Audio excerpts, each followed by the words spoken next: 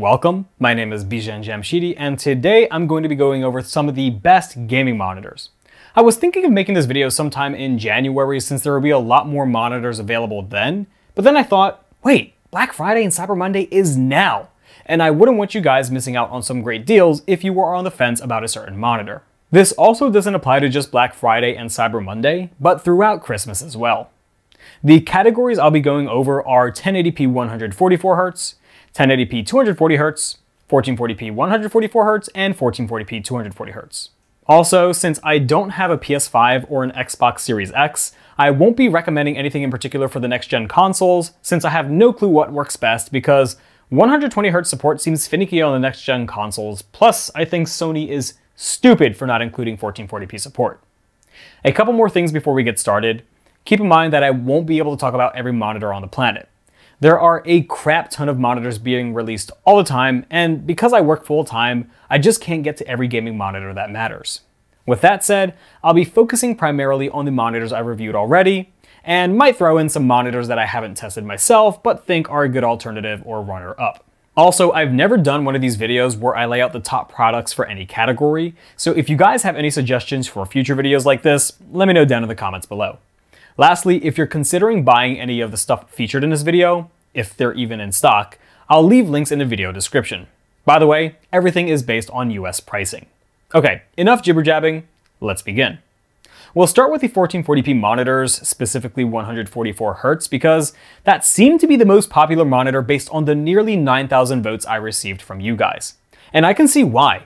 Not only have they dropped down in price considerably over the years, but at the price you can get them at now, they offer a great balance between high refresh rate gaming, great color reproduction, depending on the monitor, and high pixel density, giving you those crisp images. Now, when it came to choosing which one I thought was best, it was a super close fight between the LG 27GN 850 and the Dell S2721 DGF. Both of these monitors are pretty much the same, minus the design, but the Dell wins slightly overall. Design-wise, I think the Dell looks better between the two. I never liked V-shaped legs compared to a square base because you don't get the freedom of pulling a monitor as close as you can with a square base. Now sure, you can use a monitor arm to solve this, but I'm not worried about that for this video. In terms of I.O., or input-output, the Dell wins this hands down, including the standard two HDMI 2.0 ports and one DisplayPort 1.4 port, just like the LG but the Dell takes it a step further by including four USB 3.0 ports to expand your USB needs further. Other than that, they both use similar if not the same panel, with the Dell being jacked on steroids, giving you a refresh rate of 165Hz rather than the LG's measly 144Hz. Both have 8-bit plus FRC support to give you the 10-bit color depth, and both are obviously 1440p. They also performed very similarly when it came to peak brightness, contrast ratios, gamut coverage, and out-of-the-box color accuracy. Now when it comes to the gaming performance, that's where the LG pulls ahead. Now just a disclaimer, I did do these tests with the Alienset 2 2400 pixels per second. Almost all of the other tests, if not all of the other ones, will be set at 1920 pixels per second. I'm not going to explain in this video for the sake of your attention, so if you're interested in finding out why, I'll leave a link in the video description. Anyway, at 144 plus hertz, the LG does the best when compared to the Dell by producing an image that's slightly more clear when using the fast overdrive setting. Now, is this something the average person will notice when doing a blind test between the two monitors? Absolutely not. So if you're eyeing the Dell, but now you're thinking of getting the LG because it's slightly better pixel response times, don't, because you won't notice these differences in the real world.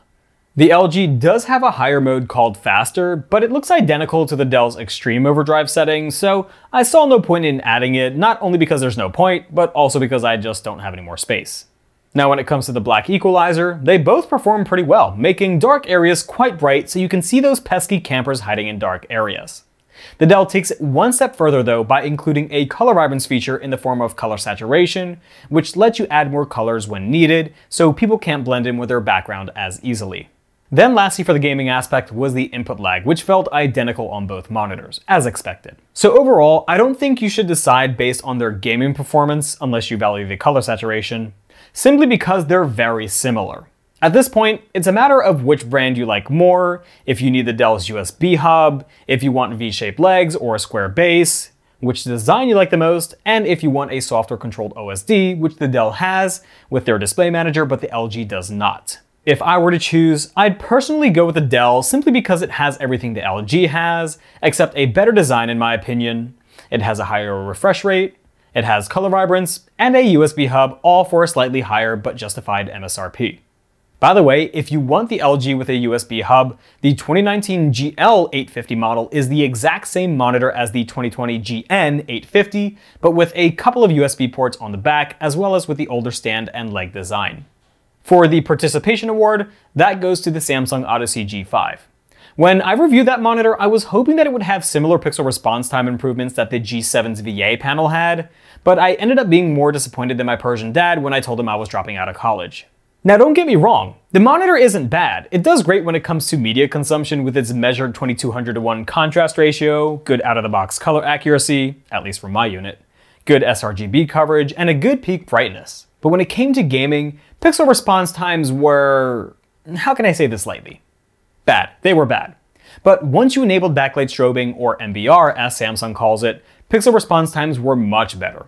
The only issue with the backlight strobing is that it lowered the peak brightness from 300 nits down to 150 nits, making it a bit darker than some people would prefer.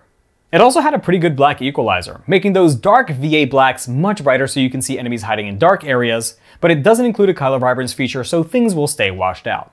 It also doesn't have any adjustability other than tilt, and doesn't include a software controlled OSD, making it a little bit less easy to change your color profiles on the fly. Now this monitor isn't overall that impressive, so why include this monitor in this list? The reason why is because for $230, at least at the time of this recording, this might be one of the cheapest, if not the cheapest 1440p 144Hz monitors on the market, and I think it's much more compelling at that price over its original MSRP of $300.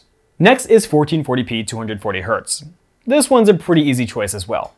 The absolute best monitor for the segment that I've reviewed so far is the newly released Alienware AW2721D. Starting with the basics, it has a beautiful 10-bit nano IPS panel that gets as bright as 500 nits on SDR, or standard dynamic range, has an average 958 to 1 contrast ratio because it has an IPS panel, and has G-Sync Ultimate.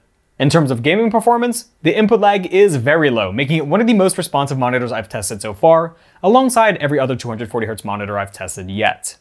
Pixel response times are also extremely good, especially for an IPS panel, doing a good job keeping up with Alienware's new 360Hz model and the BenQ Zowie XL2546K, as long as we're not talking about backlight strobing results, because as you can see, the 360Hz model and the Zowie leave the AW2721D in the dust when you enable their backlight strobing technologies. Now as I found out in the comments in the AW2721D review, Nano IPS panels don't get backlight strobing because apparently it looks absolutely horrible. I've never personally seen how it looks, but it's worth noting if you're someone who absolutely needs the best clarity. When it came to the black equalizer, things were pretty okay. It performed pretty much the same as the Dell S2721DGF, mainly because Dell uses the same black equalizer for all their monitors. At least that's what it seems. One thing this doesn't have, unlike the Dell S2721DGF, is color saturation. So scenes that are washed out will stay washed out unless you're using something like NVIDIA's color saturation feature. Color accuracy out of the box was great, since Dell does some basic factory calibration before sending you your monitor, with my unit having an average delta E of 1.95 and an average delta E of 0.39 once I ran it through Portrait CalMan's calibration software. It also had amazing gamut coverage, covering 100% of the sRGB color space, 84% of the Adobe RGB color space, and 96% of the DCI-P3 color space, so not only can you play on the highest level of competitive gaming, but you can do professional work on it as well. The only gripes I have on this monitor is that it doesn't support NVIDIA's ULMB backlight strobing technology, but that's more of a panel issue. It doesn't have a color vibrance, it doesn't support Dell's Display Manager software, at least when I was doing my review on that monitor, and HDR is not that great. It's not bad, but the issue I had with it were the ugly vertical dimming zones, which grabbed my attention more than what I was watching when there was a dark scene. So overall, this monitor is great for people that want an all-in-one gaming and professional monitor. But for $1,100, this isn't for most people. However, when I posted the review for that monitor, it was going for $733 on Amazon, making it a stupid good deal. I have no clue if that was a mistake and if those orders were actually fulfilled, but if they actually were going for that much on Amazon, the Alienware AW2721D is an amazing choice. Second place for the 1440p 240Hz monitor segment is the Samsung Odyssey G7. Sadly, I lost all my files for the G7, so I won't be able to show you pixel response times the way I have been showing you throughout the video so far. So if you want to check out my review on that monitor, click on the pop-out banner over here.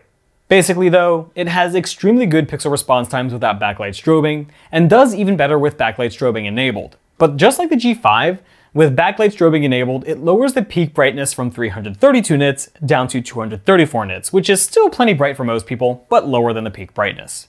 It also has very good contrast ratios at 24-43 to 1, so those blacks will be more black than your standard IPS and TN panel, which should add more depth and immersion.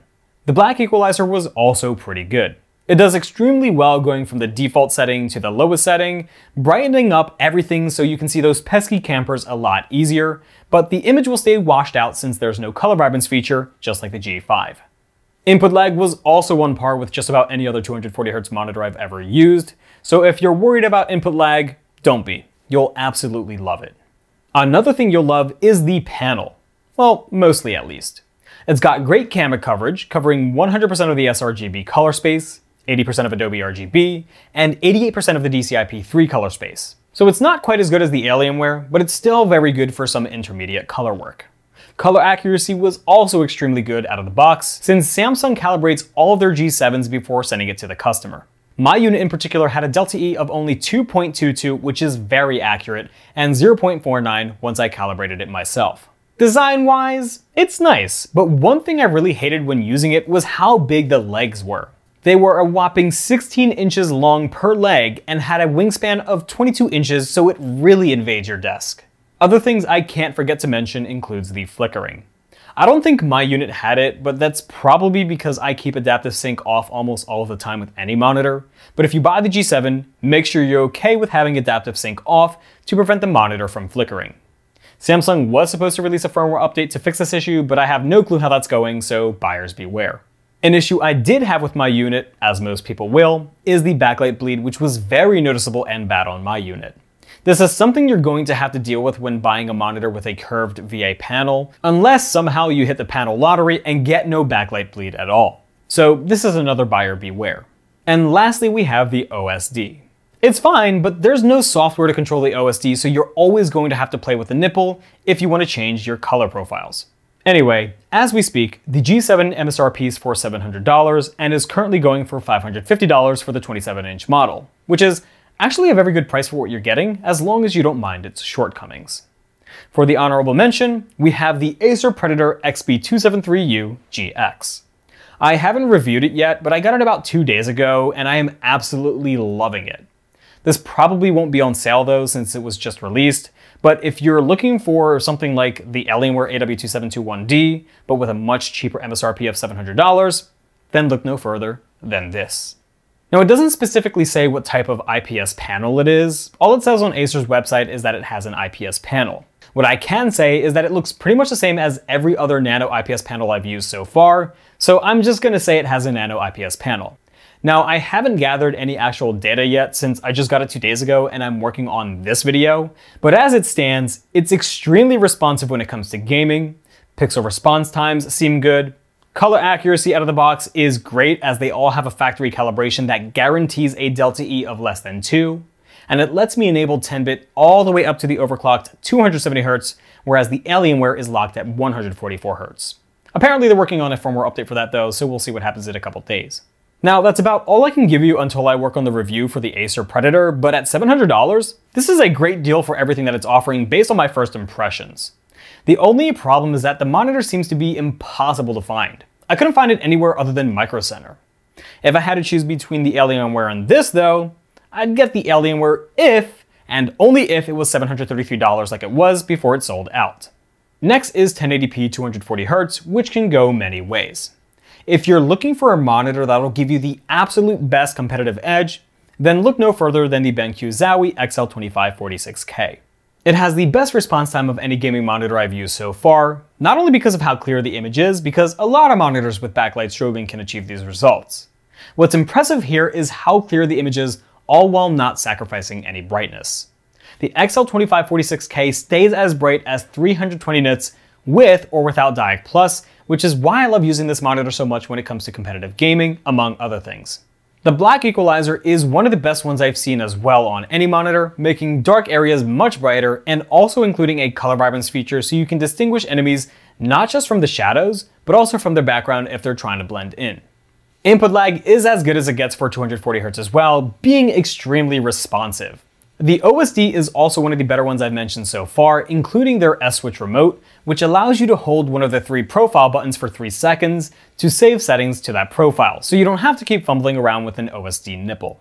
The only thing I think it does poorly is media consumption, with its poor viewing angles, typical contrast ratio of 1017 to 1, poor gamut coverage, and poor out-of-the-box color accuracy both pre and post calibration. Basically, this is an esports focused monitor and nothing else. That doesn't mean you can't use it for media consumption though, because after using the Zowie for a few days after using a Nano IPS panel for a few months prior, my eyes got used to it and I wasn't worried about how colors looked anymore. Not everyone will feel the same way as me though, but some will. Now, if you want a 240Hz 1080p monitor that can do it all, the best one I've tested so far is the MSI MAG251RX. It can do pretty much everything the Zowie can do, but it has an IPS panel, so the media consumption experience will be much better.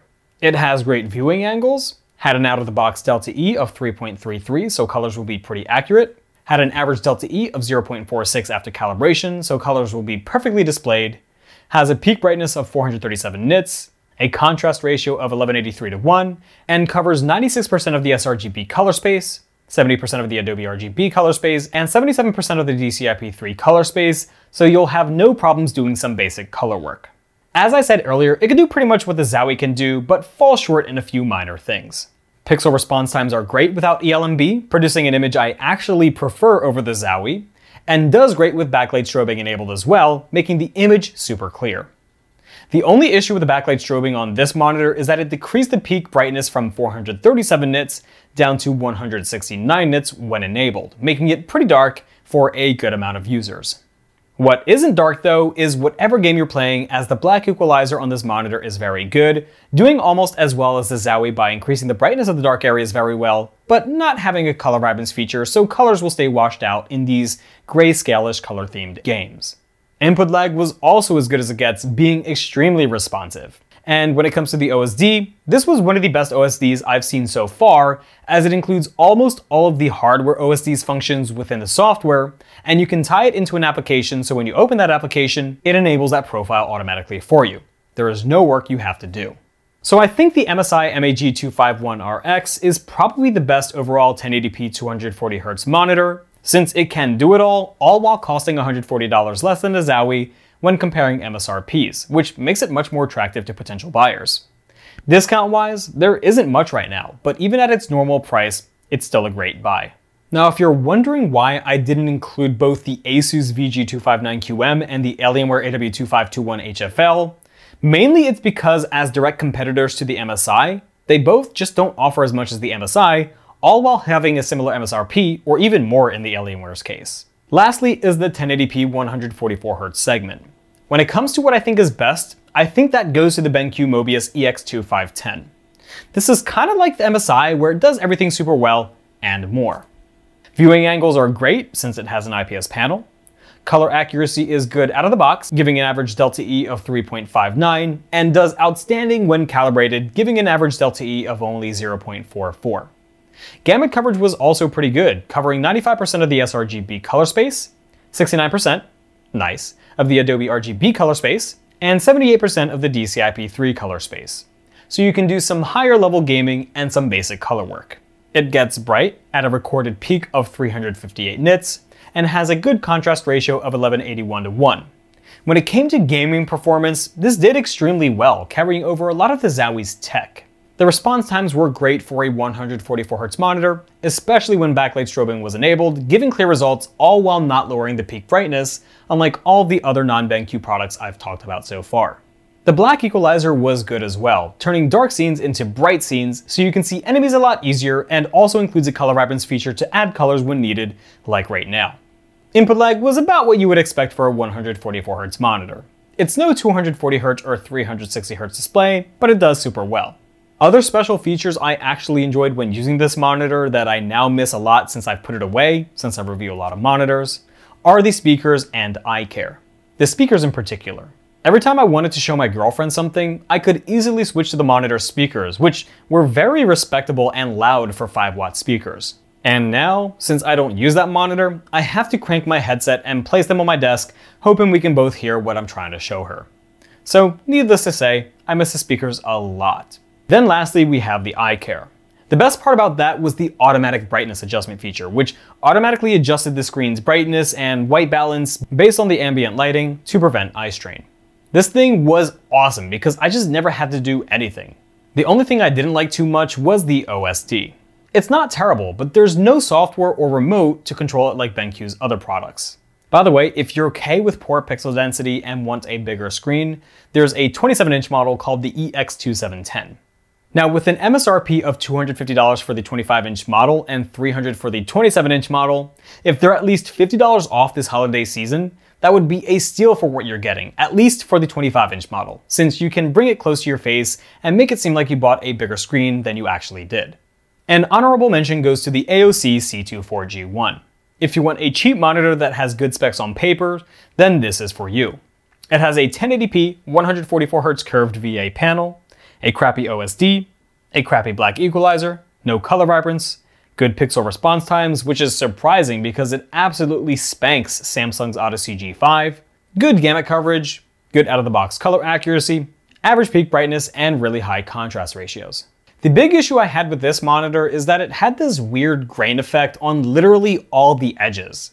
But if you don't mind that, then this is a good option because it's probably the cheapest way to get to the 144Hz refresh rate life. And that's about it. I hope you guys enjoyed this video and hopefully this has helped you on narrowing down what monitor you wanted to purchase. As I mentioned in the beginning, there will be links to most if not all monitors in the video description if you wanted to buy something. And again, let me know if you guys have any feedback on how to improve these kinds of videos. Other than that, I won't bore you with any more nonsense, so have a great day every day. Peace.